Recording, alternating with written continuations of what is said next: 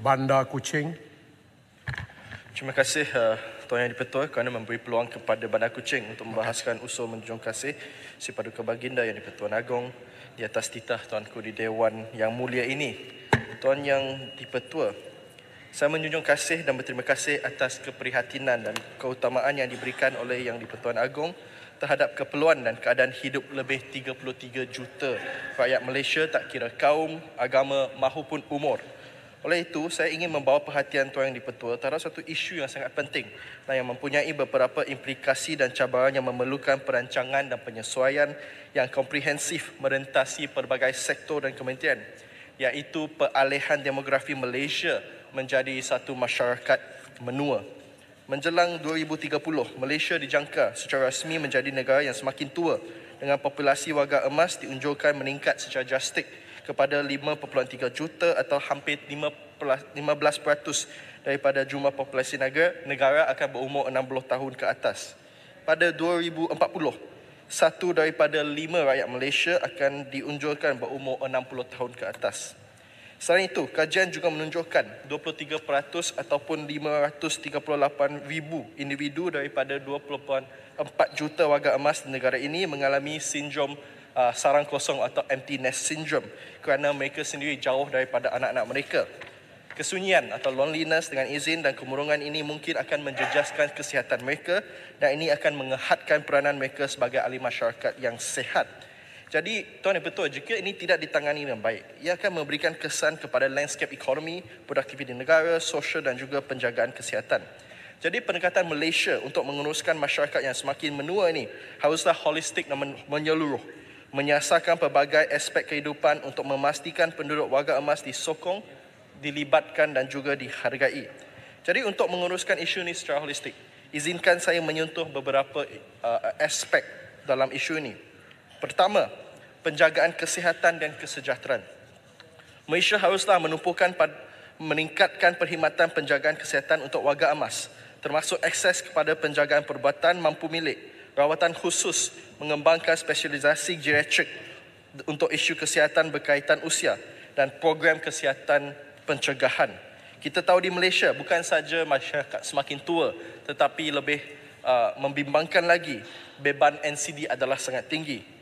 Saya ingin bertanya kepada pihak kerajaan tentang perkembangan kajian health financing dalam kertas putih kesihatan dan bagaimana kerajaan bercadang untuk menampung kos perubatan yang semakin tinggi kerana beban kewangan kesihatan disebabkan masyarakat menua ini memang akan meningkat dan jika tidak ada sumber alternatif ia memang tidak cukup dan ini akan menjejaskan kualiti penyampaian kesihatan kepada mereka termasuk golongan pesara. Saya ingin memberikan satu contoh. Saya baru balik daripada Jepun, Tuan Yang Dipertua. Di Jepun mereka ada satu sistem insurans penjagaan jangka panjang atau LTCI yang telah diperkenalkan pada tahun 2000. Sistem LTCI ini merupakan asas pendekatan Jepun terhadap penjagaan warga emas. Pelbagai perkhidmatan dilindungi bawah LTCI termasuk penjagaan di rumah, bantuan rumah, per, per, perkhidmatan jururawat melawat, perkhidmatan berasaskan komuniti, khidmat harian, penginapan singkat dan penjagaan kemudahan, rumah penjagaan khas untuk orang tua, kemudahan penjagaan perubatan jenis sanatorium dan sebagainya. LTCI ini meliputi semua penduduk berumur 65 tahun ke atas yang memerlukan sokongan atau penjagaan kejururawatan. Mereka yang berumur 40 hingga 64 tahun juga layak jika mereka menghidapi penyakit berkaitan usia seperti Alzheimer dan keadaan tertentu yang biasanya memberi kesan kepada uh, manusia uh, dewasa yang lebih tua. Jadi LTCI ini dibiayai melalui gabungan premium insurance dan juga cukai daripada kerajaan semanda pusat ataupun negeri. Dan ini bukan saja bantuan dari segi kesihatan fizikal tetapi mental seperti yang dikatakan tadi, kemurungan dan empty nest syndrome adalah satu isu yang dihadapi oleh banyak warga emas. Malah di Jepun mereka ada satu kementerian atau menteri yang spesifik untuk bab ni iaitu Minister of Loneliness dengan izin. Jadi tuan yang betul, mungkin satu sistem seperti ini dapat dikaji dan diadaptasikan untuk keperluan kita Malaysia. Saya tahu salah satu model pembiayaan kesihatan adalah social health insurance yang telah dikaji. Mungkin kita dapat mulakan dengan golongan menua ini seperti LTCI yang ada di Jepun supaya beban kewangan kesihatan dapat dikawal dan mereka mendapat penjagaan yang terbaik. Sebenarnya kita tidak perlu reinvent the wheel dengan izin. Pekeso sudah ada satu sistem dan mekanisme yang boleh menampung keperluan ini. Mungkin kita cuma perlukan satu halatu dasar, mungkin polish sedikit dengan izin dan political will untuk melakukannya.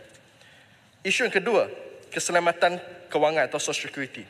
Yang sangat penting untuk memastikan penduduk warga emas mempunyai akses kepada sumber kewangan. Tuan Yang Dipertua, saya sangat sangat sangat bimbang. Malaysia akan menghadapi krisis persaraan. Memandangkan uh, hampir Kucing saya mohon mohon sikit laluan kementerian. Saya, saya nak menyokong uh, cadangan LCL cadangan LTCI tadi. Saya melihat bahawa ini satu cadangan yang sangat sangat baguslah dibuat di Jepun dan kalau boleh kita apa dicadangkan tadi ialah uh, secara automatik anggota perkhidmatan awam yang pencen dia dilindungi oleh uh, pelindung insurans daripada pencen dia. Bermakna kita kita buat sistem secara automatik semua penjawat awam yang pencen dapat perlindungan tersebut. Minta pandangan cadangan. Memang kita sokong tapi mengikut sistem di Jepun bukan saja automatik. Ada sumbangan dari pencen ada sumbangan dari sendiri. Mereka juga kena bayar sedikit premium untuk uh, uh, sistem insurans tersebut. Uh, saya saya menyokong dan kita tahu betapa pentingnya isu ini kedua kita akan menghadapi krisis krisis persaraan hanya 4% rakyat Malaysia mampu bersara menurut pengiraan KWSP. Peningkatan perbelanjaan hidup dalam dunia ini dan pengeluaran sebahagian besar simpanan mereka dari KWSP semasa wabak menyebabkan beberapa ahli mengalami kemiskinan walaupun mereka sebenarnya belum bersara. Jadi, apakah rancangan kerajaan untuk menangani isu ini? Adakah kerajaan bercadang untuk mengkaji semula pemberian dan sumbangan dari kedua-dua majikan maupun pekerja untuk memastikan simpanan yang lebih tinggi apabila besar. Contohnya, sistem pencen telah direformasikan dan ditukar ke KWSP. Dan saya menyokong pembaharuan ini walaupun ia betapa pahitnya dan tapi ia perlu dilakukan. Tetapi adakah kerajaan nak menimbangkan, menambahkan pemberian mungkin contohnya 2% kepada KBSP, contohnya kepada penjawat awam dahulu, sebenarnya menyediakan satu framework untuk memperluaskan kepada pekerja lain. Saya nak bertanya, apakah implikasi kewangan untuk pertambahan ini berbanding dengan sistem pencen yang sedia ada? Walaupun polisi ini ada kebaikan, saya rasa ini kena dibencangkan secara menyeluruh kepada semua pemegang taruh termasuk majikan.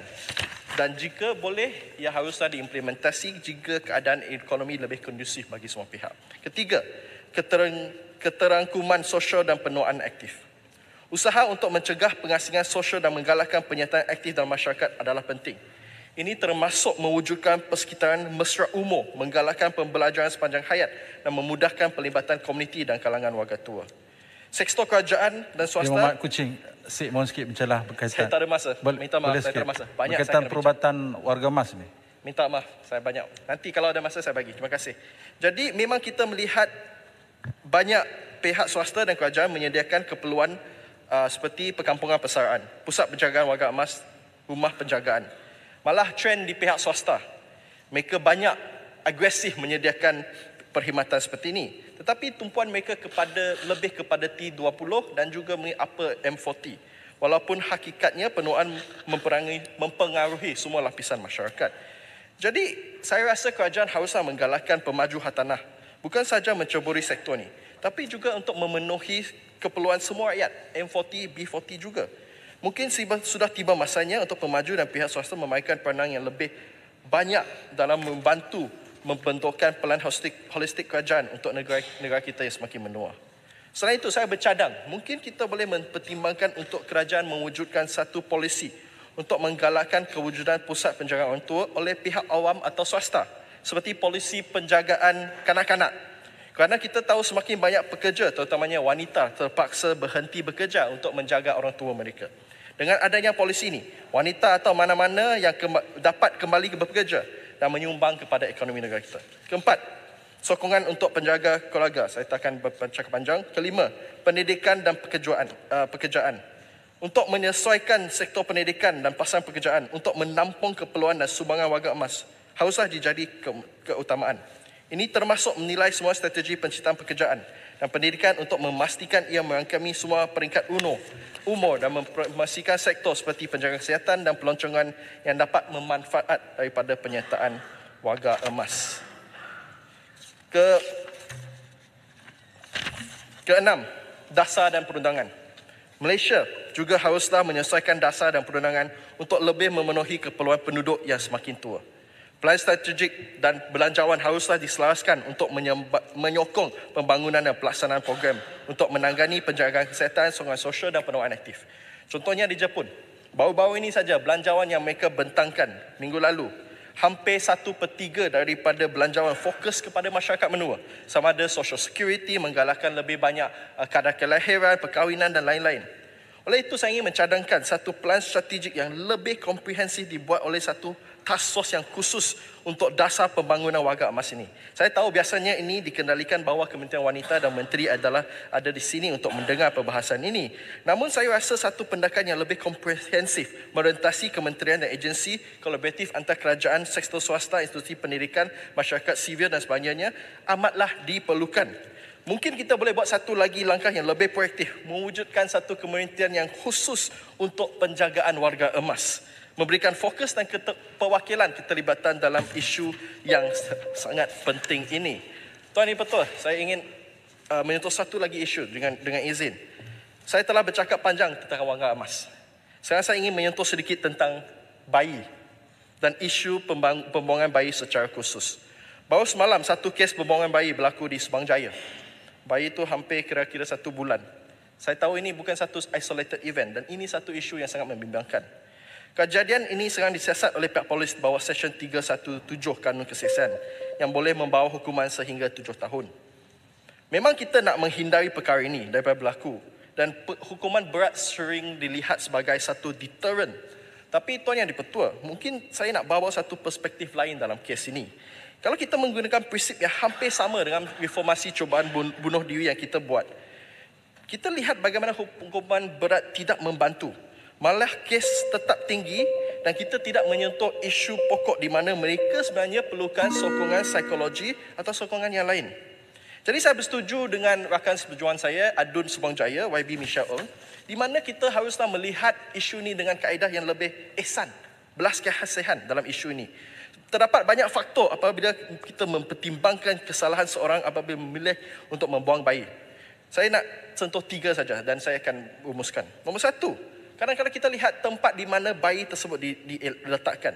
Kita mungkin mengatakan terdapat bezanya jika bayi itu ditinggalkan dalam tong sampah atau kita letak bayi di depan pintu kedai.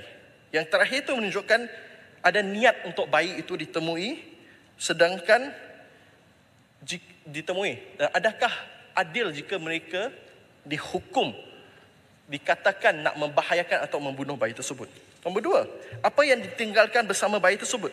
Sesenara ibu bapa meninggalkan bayi dengan sesuatu untuk menunjukkan tahap penjagaan terhadap bayi tersebut. Dalam kes Subang Jaya tersebut, ibu bapa tidak banyak meninggalkan barang-barang, cuma satu baju dewasa, tudung, sepasang uh, sarung tangan dan stocking. Ini sebenarnya memberitahu saya bahawa nombor satu, mereka bukan datang dari keluarga yang berada, malah mungkin mereka cuba sedaya upaya itu sahaja yang mereka dapat bagi kepada bayi tersebut. Adakah ini bermaksud mereka tidak peduli? Adakah ini bermaksud sebenarnya mereka perlukan bantuan kerana mereka tidak berkemampuan? Isu nombor tiga, umur bayi. Mungkin ada bezanya jika kita lihat jika bayi dibuang sejurus selepas dilahirkan ataupun dibuang sebulan ataupun masa yang lebih lama selepas itu. Dalam kes ini, hampir sebulan. Adakah mungkin ibu bapa telah mencuba sedaya upaya mereka tetapi mereka merasa ada lebih baik bayi mereka dijaga oleh orang lain. Tetapi mungkin masa itu mereka melalui stres, melalui apa yang dikatakan postpartum depression ataupun postpartum blues yang di, dikaji oleh uh, John Hopkins hampir 85% daripada ibu muda mengalami adakah mereka rasa mereka meninggalkan bayi tersebut. Jadi kalau kita menggariskan semua pertimbangan ini Adakah adil jika kita terus menghukum? Jika ibu bapa telah meninggalkan anak, tapi mereka melihat tahu hukuman yang sudah ada, mereka tak berani berpatah balik apabila mereka menyesal. Wabi turun landing Wabi. Okey, saya akan landing. Jadi, saya rasa kita haruslah lihat perkara ini dengan lebih terperinci, dengan lebih ihsan. Jadi, kita tahu banyak faktor yang mengakibatkan kejadian tersebut. Jadi saya tahu niat baik di sebalik undang-undang yang sedia ada. Tapi mungkin kita dapat mengkaji semula. Jadi saya mungkin menggesa jika boleh satu moratorium ke atas Seksyen 317. Sementara kerajaan meneroka pembangunan sistem yang lebih belas kasihan, ehsan untuk menangani kerumitan di sebalik pembuangan bayi dan mengutamakan sokongan dan pemulihan bagi mereka yang terlibat. Itu yang, yang dibetul. My last sentence, saya nak tanya Kementerian Kesihatan. Saya juga ingin bertanya Kementerian Kesihatan tentang prevalence outbreak enterovirus ecovirus 11, E11 di NICU seluruh negara yang menyebabkan early onset neonatal sepsis dan hepatic impairment. Dan jika ini berlaku di negara kita seperti di Perancis, Croatia, Itali, di UK dan sebagainya. Jika ada, apakah prevalence, berapakah infant mortality disebabkan enterovirus tersebut dan langkah-langkah kerajaan untuk membendung wabak tersebut. Dengan itu, sekian terima kasih yang Tuan Betul, saya mohon menyokong. Baik, terima kasih. Saya jemput uh, Bagan Serai. Assalamualaikum warahmatullahi